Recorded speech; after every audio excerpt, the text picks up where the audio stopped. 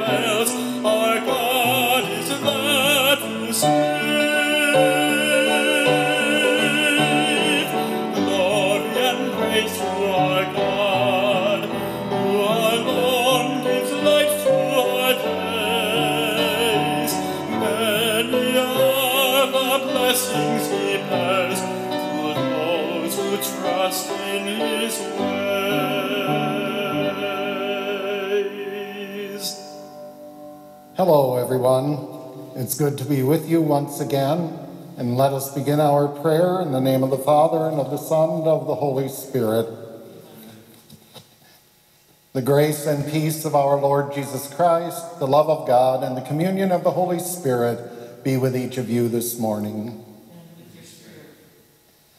My brothers and sisters, love one another, St. Paul proclaims in our readings today.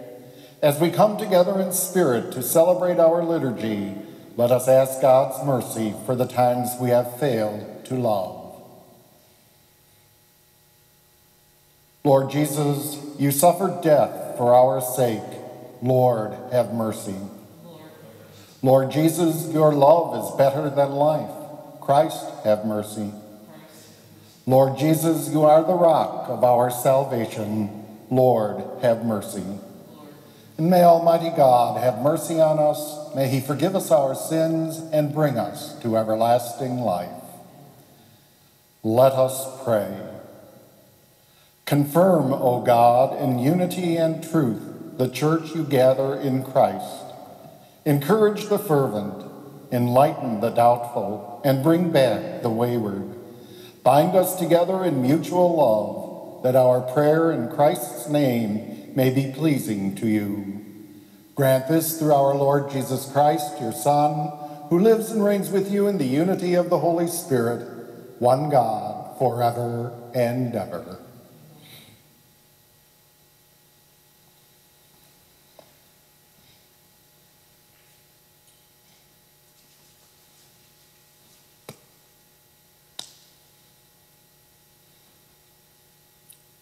A reading from the book of the prophet Ezekiel. Thus says the Lord You, Son of Man, I have appointed watchmen for the house of Israel. When you hear me say anything, you shall warn them for me. If I tell the wicked, O wicked one, you shall surely die, and you do not speak out to dissuade the wicked from his way, the wicked shall die for his guilt. But I will hold you responsible for his death. But if you warn the wicked, trying to turn him from his way. and he refuses to turn from his way. He shall die for his guilt, but you shall save yourself. The word of the Lord.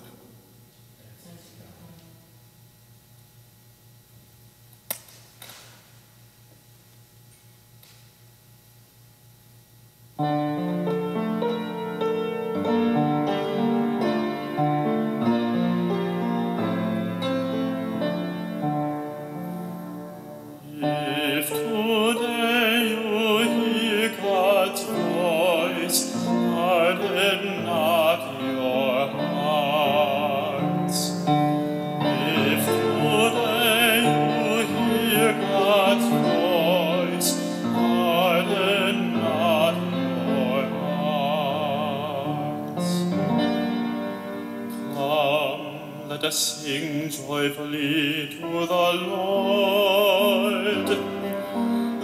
acclaim the rock of our salvation. Let us come into his presence with thanksgiving.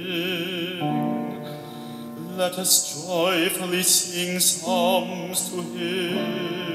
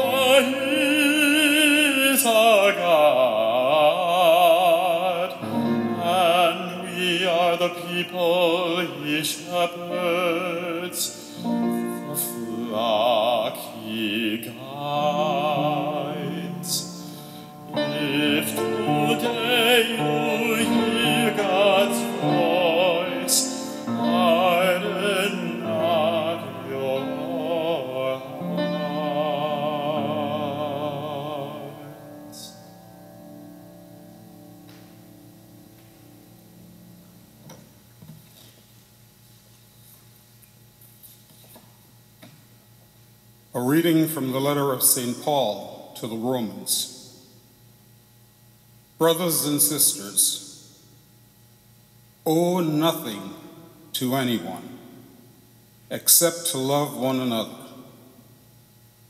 For the one who loves another has fulfilled the law. The commandments you shall not commit adultery. You shall not kill. You shall not steal. You shall not cut. And whatever other commandments there may be are summed up in this saying, namely, you shall love your neighbor as you love yourself. Love does no evil to the neighbor. Hence, love is the fulfillment of the law. The word of the Lord.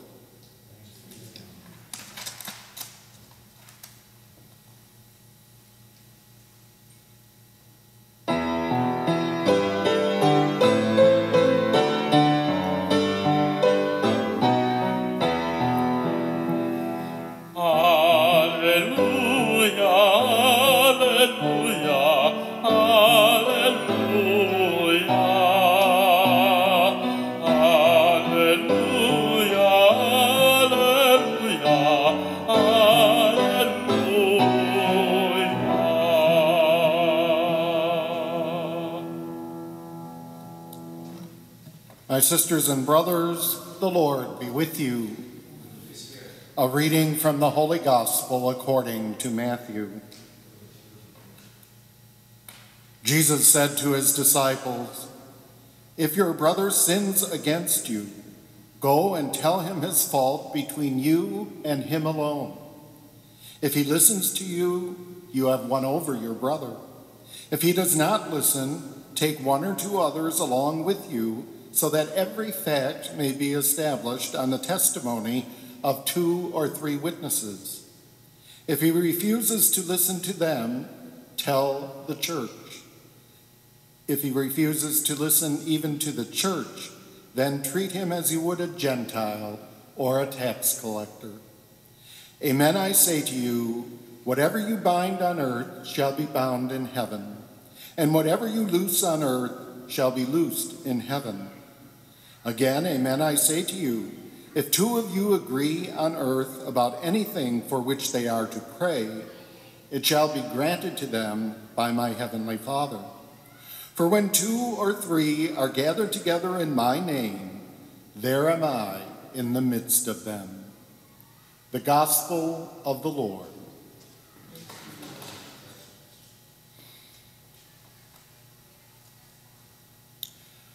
Both our first reading and the Gospel today deal with conflict. In the first reading, God tells Ezekiel that he has made him the watchman of the house of Israel. He is to be the mouthpiece for God, and he is to speak God's word to the people. This might include some unpleasant messages like telling the wicked, O wicked one, you shall surely die but these prophecies are necessary, and God warns Ezekiel that if he does not speak out to dissuade the wicked one from his way, the wicked shall die for his guilt, but God will hold him responsible for his death. The first reading and the gospel seem to hearken back to the words of Cain when God asks him, Where is your brother Abel? And he replies, I do not know. Am I my brother's keeper? The answer to that question is a resounding yes. Not only are we to care for our brothers and sisters physically, we are to look after them spiritually. The Catechism of the Church states that charity demands fraternal correction. Of course, as members of the body of Christ, we also must be prepared to receive correction from others with the same goodwill that we offer it to our brothers and sisters. In today's gospel, Jesus lays out the nuts and bolts of what it means to be a community intent on living out God's message of peace and forgiveness. Our witness to reconciliation is important, for God was reconciling the world to himself in Christ and entrusting to us the message of his reconciliation. In this context, when Christian families or communities of faith are overcome by bickering, resentment, or lack of respect for each other, it is a scandal. If we are serious about building the kingdom of God here on this earth, we must be intentional about how we resolve conflict. Conflict resolution is a hot topic in management manuals, business leadership books, and of course, family relationships.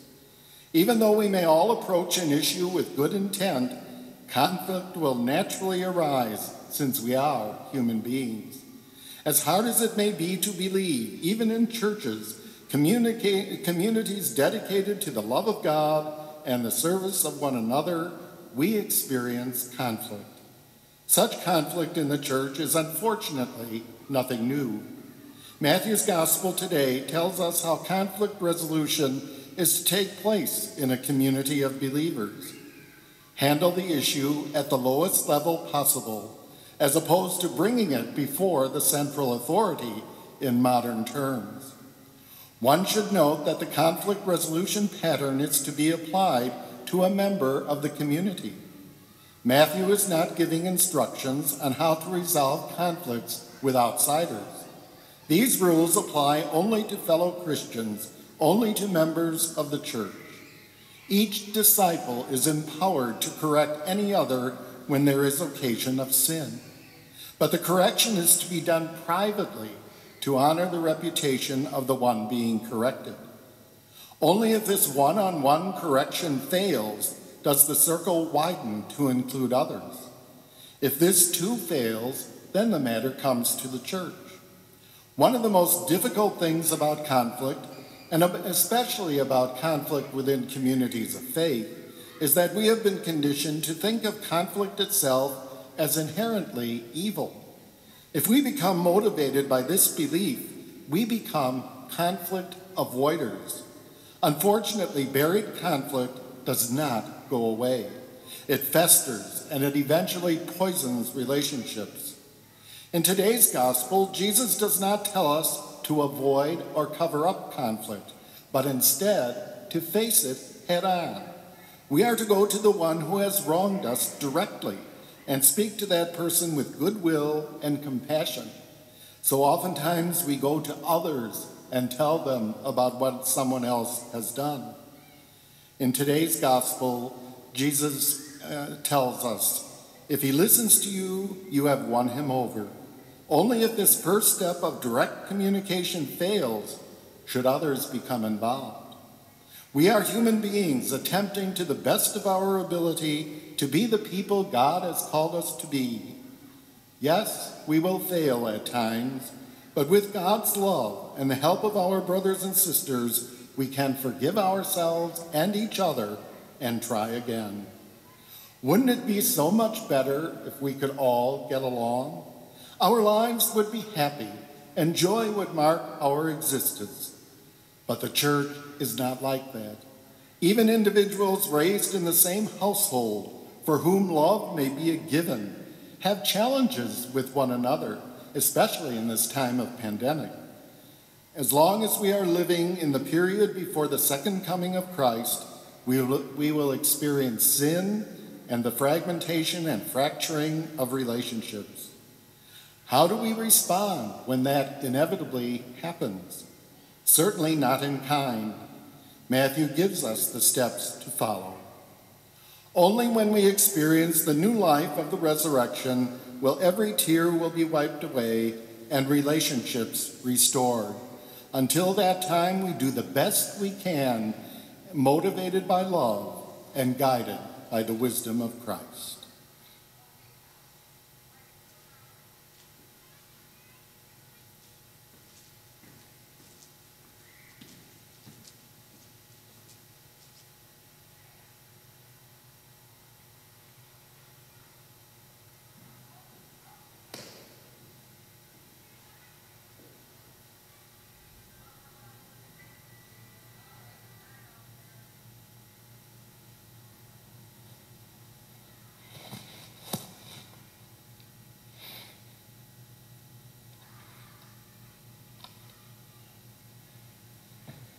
As a people of faith, let us now profess our faith together. I believe in God, the Father Almighty, creator of heaven and earth, and in Jesus Christ, his only Son, our Lord, who was conceived by the Holy Spirit, born of the Virgin Mary, suffered under Pontius Pilate, was crucified, died, and was buried. He descended into hell. On the third day, he rose again from the dead. He ascended into heaven and is seated at the right hand of God, the Father Almighty. From there he will come to judge the living and the dead. I believe in the Holy Spirit, the Holy Catholic Church, the communion of saints, the forgiveness of sins, the resurrection of the body, and life everlasting. Amen. Confident in God's abundant mercy, let us now bring our prayer before the Lord. That the church will be active in seeking reconciliation and peace, we pray. Lord, hear our prayer. That all peoples of the world will see each other as sisters and brothers, we pray. Lord, hear our prayer. That all affected in any way by the pandemic may be graced with resilience and comfort, from workers to the sick, from those self isolating, to all those returning to school, we pray. Lord, hear our prayer. That God's people will work together for justice, we pray. Lord, hear our prayer. That all those who labor will find dignity and peace in their work, we pray. Lord, hear our prayer. That the sick will know the healing power of the risen Christ, including Ralph Amadeo, Marty Blake, Anthony Costa, Jerry Fitzpatrick, Yana Lakuko, Owen Petrozelka, Jeff Whitell, Marilyn Whitell, and Deacon Jerry Zyke, we pray. Lord, hear our prayer. That those who have died will be one with the saints surrounding the heavenly throne of God, especially Wendell Venerable, we pray. Lord, hear our prayer. For the intentions included in our prayer circle, for the prayers in the silence of our hearts, and for the intentions of this Mass, Catherine and William Sargent, George Keller, Geneva Royal, Mary Frances Archman, Stephen Thomas Hum, Dr. James T. McCrory, and all St. Giles parishioners and benefactors. We pray. Lord, hear our prayer. Loving Father, you give us grace as we gather in the midst of Christ. Hear our prayers and help us to live by your laws as we praise you, our Father in heaven. We ask this through Christ our Lord.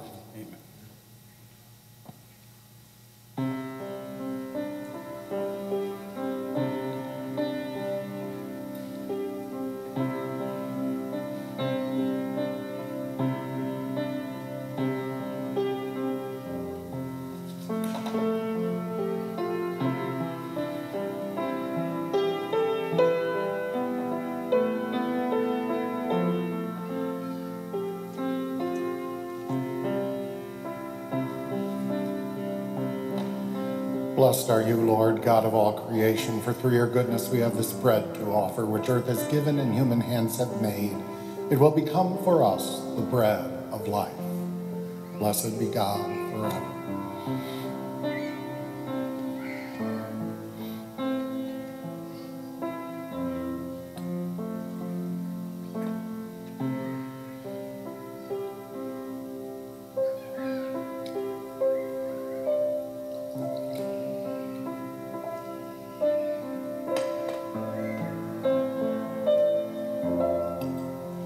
The mystery of this water and wine, we become to share in the divinity of Christ, who humbled himself to share in our humanity. Blessed are you, Lord, God of all creation, for through your goodness we have this wine to offer, fruit of the vine and work of human hands. It will become for us our spiritual drink. Blessed be God forever. Almighty God, we pray that you receive us and be pleased with the sacrifice we offer you with humble and contrite hearts. Lord, wash away our iniquity, cleanse us of our sin.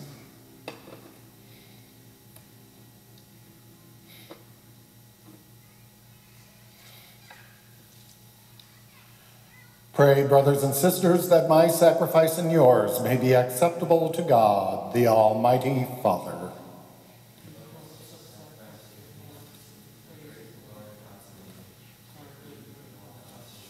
Amen. O God, who give us the gift of true prayer and of peace, graciously grant that through this offering we may do fitting homage to your divine majesty, and by partaking of the sacred mystery, we may be faithfully united in mind and heart. Through Christ our Lord. The Lord be with you. Lift up your hearts. Let us give thanks to the Lord our God. It is truly right and just, our duty and our salvation, always and everywhere, to give you thanks, Lord, Holy Father, Almighty and eternal God. For we know it belongs to your boundless glory that you came to the aid of mortal beings with your divinity, and even fashioned for us a remedy out of mortality itself that the cause of our downfall might become the means of our salvation through Christ our Lord. Through him, the host of angels adores your majesty and rejoices in your presence forever. May our voices now join with theirs in one chorus of exultant praise as we acclaim, Holy, holy, holy Lord, God of hosts. Heaven and earth are full of your glory. Hosanna in the highest. Blessed is he who comes in the name of the Lord. Hosanna in the highest. You are indeed holy, O Lord, the fount of all holiness. Make holy, therefore, these gifts, we pray, by sending down your Spirit upon them like the dewfall, so that they may become for us the body and blood of our Lord Jesus Christ. At the time he was betrayed and entered willingly into his passion, he took bread, and giving thanks, he broke it and gave it to his disciples, saying, Take this, all of you, and eat of it, for this is my body, which will be given up for you.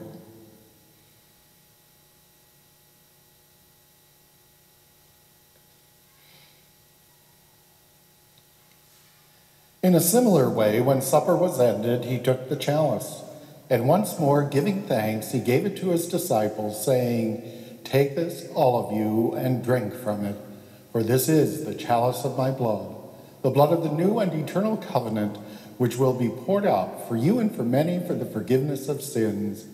Do this in memory of me.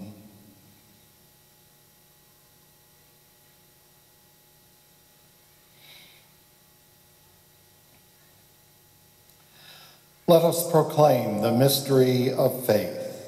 When we eat this bread and drink this cup, we proclaim your death, O Lord, until you come again. Therefore, as we celebrate the memorial of his death and resurrection, we offer you, Lord, the bread of life and the chalice of salvation, giving thanks that you have held us worthy to be in your presence and minister to you. Humbly we pray that partaking of the body and blood of Christ, we may be gathered into one by the Holy Spirit. Remember, Lord, your church spread throughout the world and bring her to the fullness of charity, together with Francis, our Pope, and Blase, our Bishop, all the clergy, those in religious life, and all your people. Remember also our brothers and sisters who have fallen asleep in the hope of the resurrection, and all who have died in your mercy. Welcome them into the light of your face. Have mercy on us all, we pray, that with the Blessed Virgin Mary, Mother of God, with Blessed Joseph, her spouse, with the blessed apostles, with St. Giles, and with all the saints who have pleased you throughout the ages, we may merit to be co heirs to eternal life and may praise and glorify you through your Son, Jesus Christ. Through him and with him and in him, O God, Almighty Father, in the unity of the Holy Spirit, all glory and honor is yours forever and ever. Amen. At the Savior's command, informed by divine teaching, we now dare to say, Our Father, who art in heaven, hallowed be thy name. Thy kingdom come, thy will be done, on earth as it is in heaven. Give us this day our daily bread, and forgive us our trespasses, as we forgive those who trespass against us. And lead us not into temptation, but deliver us from evil. Deliver us, Lord, from every evil. Graciously grant peace in our days, that by the help of your mercy we may be always free from sin and safe from all distress, as we await the blessed hope and the coming of our Savior, Jesus Christ. For the kingdom, the power, and the glory are yours, now and forever. Lord Jesus Christ, who said to your apostles, Peace I leave you, my peace I give you. Look not on our sins, but on the faith of your church, and graciously grant her peace and unity in accordance with your will, who live and reign forever and ever. The peace of the Lord be with each of you always. Let us now share with one another some sign of peace.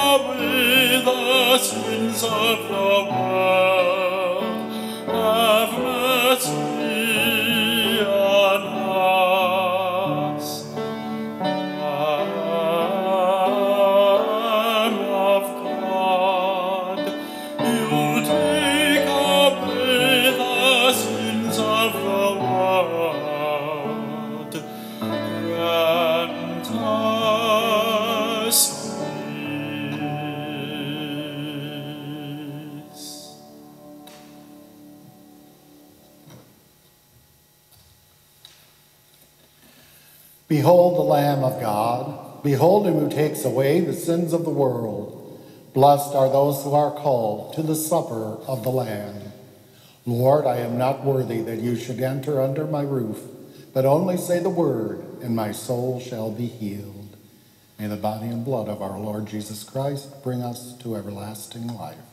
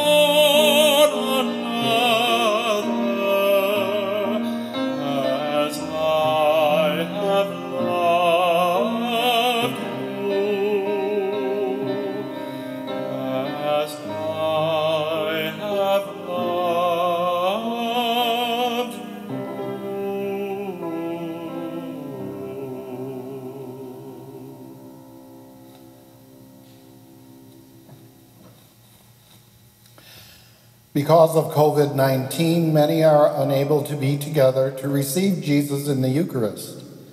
However, we can all join together with Christ in a true spiritual communion. On the worship aid on the website, you will find a prayer of spiritual communion prayed by Pope Francis. My Jesus, I believe that you are present in the most holy sacrament of the altar I love you above all things, and I desire to receive you into my soul. Since I cannot at this moment receive you sacramentally, come at least spiritually into my heart. I embrace you as if you were already there, and I unite myself wholly to you. Never permit me to be separated from you. Amen. Let us pray. Grant that your faithful, O Lord, whom you nourish and endow with life through the food of your word and heavenly sacrament, may so benefit from your beloved Son's great gifts that we may merit an eternal share in his life, who lives and reigns forever and ever. And we have one announcement today. Don't forget to check the St. Giles website for ways to stay involved and give even while being physically distant. And this being Labor Day weekend, we have a special prayer for Labor Day. On this weekend, when we rest from our usual work, loving Father, we pray for all who shoulder the tasks of human labor in the marketplace, in factories and offices, in the professions, and in family living. We thank you, Lord, for the gift and opportunity of work May our efforts always be pure of heart for the good of others and the glory of your name. We lift up to you all who long for just employment and those who work to defend the rights and needs of workers everywhere. May those of us who are now retired always remember that we still make a valuable contribution to our church and our world by our prayers and our deeds of charity. May our working and our resting all give praise to you, until the day we share together in eternal rest with all our departed in your kingdom as you live, Father, Son, and Holy Spirit, one God, forever and ever. Amen. The Lord be with you. Bow your heads and pray for God's blessing. May the Lord give you strength and bless you with heavenly peace to go forth with courage and hope and confidence. And may the blessing of Almighty God, the Father, the Son, and the Holy Spirit come down on you and remain with you forever. Go and announce the gospel of the Lord. Please join me in singing the second verse of For the Fruit of All Creation.